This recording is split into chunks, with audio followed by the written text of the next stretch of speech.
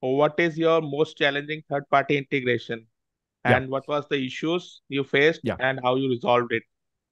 Yeah, um, we did a integration when I was a consultant for a telecom communications provider called um, they they were called Saddleback. They were a smaller communications provider um, that did uh, they literally laid the fiber and the copper in the ground uh, Okay. for um, the so when when you get into um, uh, tribal uh, uh, uh, parts. So there are parts of the United States that have um, the the the the the tribes, the the, the actual native people, um, and they run their own utilities. So it is a completely separate grid. It is a like their their their telecommunications are not linked to the rest of the the grid in the United States. They run their own. Um, and so they're literally laying the fiber and the the cave the fiber and the and the copper. And so we did this integration with a uh, a telecommunications provider called Saddleback. They were using a product called Mapcom, and it was the worst API I had ever dealt with. Um, in to the point where uh, they would double encode their error messages. So what would Okay. happen is you would get an error message back, it would be JSON encoded, and then you would have to JSON encode like the error message again to actually parse the the message payload. Like Okay. the first time you'd have to unparse it, and then you'd have to unparse it again to get the, the second string out of it. And it was just, it was so maddening. Um, the the kinds of things you would get, but it would be like, here's a 200 error, you know, HTTP 200 with the error code that you then had to unparse again, like out of this other string. I'm like, okay, like, and it was, it, it wasn't, it wasn't in the, it wasn't wrong. It just wasn't right, right? Eh, There were things where it would, you would just come up to these issues where you're like, why wouldn't you just give me a 500 error and let me catch it? And that, you know, and, and things like that, where, um, boy, if they had just implemented RESTful architecture, it would have been, it would have gone so much simpler instead of me having to check, you know, the string, is there an error message in this string? And then having to, you know, drop into some error logic. Um, the you know their their their objects would morph all of a sudden it wouldn't be the same you know the reference to the object would be the same but the objects like structure would change slightly and you're like what happened to the rest of the properties in this object um things like that I've I've done OAuth. I've done all sorts of stuff where it's like, yeah, there's signatures back and forth and there's refresh tokens and there's all sorts of stuff. And none of that has been ever come as close to the ones where the it's just been inconsistently uh, implemented. That those to me are the hardest ones. You know, when you have an API that is poorly written, that Okay. that's a hard that's a hard integration to deal with. Okay. Um, I find that those are the ones that tend to frustrate me the most because either, you know, documentation's lacking or it's just, it, you know, one call is written one way or one call is written another way.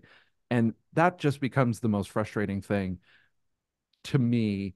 Um, and and and when I get into those situations, right, you know, as a consultant, I look at it and I go, okay, you know, you you tend to put 10 to 8% of your time on top of things just because like when I start getting into one of those, it's like, okay, we're talking 20 to to 30% extra time I have to put on top of these things because it's like I don't know what I don't know. And I'm going to get into something where it's just going to be like some crazy situation where I'm going to have to fix something or do something that I had no idea, or I'm going to have to go do some crazy, you know, recursive search through something to fix something because like there was some weird eccentricity with this API that I I had no idea I had to deal with. Okay. Those are the ones that really get me. So they were using SOAP. No, that's the thing. They were using JSON and then they would wrap they, they there were some soap there were some soap requests in there that you had to use some and then they would wrap json and and Okay. like some of the payloads were wrapped um with like the json was encoded twice Okay. and and you would have to like double encode like you had to double parse your json there were SOAP requests, don't get me wrong, where they had like older parts of the API where you had to make SOAP requests and and like it was half and half. You're uh, ironically enough, you were completely correct. But and and don't the SOAP requests were okay because at least they were well documented and I at least had a WSDL that I could go run off of and pull down the SOAP requests and figure it all out. But from the JSON side of things, like it was like someone understood SOAP but not JSON. And Okay. And when I had to go to the JSON side of things, it was just a mess. So it Okay. was it wasn't so great. Okay. So how you designing your APIs also have a huge Oh, impact on uh, while addressing because rest other things are fairly common, right?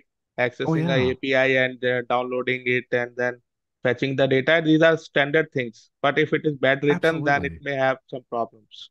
And and and if it's badly written, right? Like if it's consistently badly written, from from like if if call A is badly written the same way as call B is badly written, at least it's consistently badly written, right? I can Right. anticipate that. Okay. When it's badly written one way for call A and then call B is badly written in a completely different way, like man, that, I don't know what to do. Like it's like it's I'm dodging and weaving all over the place and it, it like it's just so hard to anticipate um you know at, at least if you're if you're consistently bad at Right. something like you know just be consistently bad then at least i know it's like okay you spelled this thing wrong everywhere like it, you know if you spelled the property incorrectly everywhere at least i know that you did it everywhere um but when you know you've got polymorphic objects that just tend to you know move around all of a sudden it's like really like that the say property was that here we can say that uh, that API was unpredictable. Yeah. Yeah. And from call to call to make it completely unpredictable, it's like, come on. Like, come on. Yeah. Yeah. Great. Great. Amazing. So if anyone also has such kind of experience, you can mention in the comment section so Yes, that uh, please. yeah. Okay. So Uh, people know you're not alone.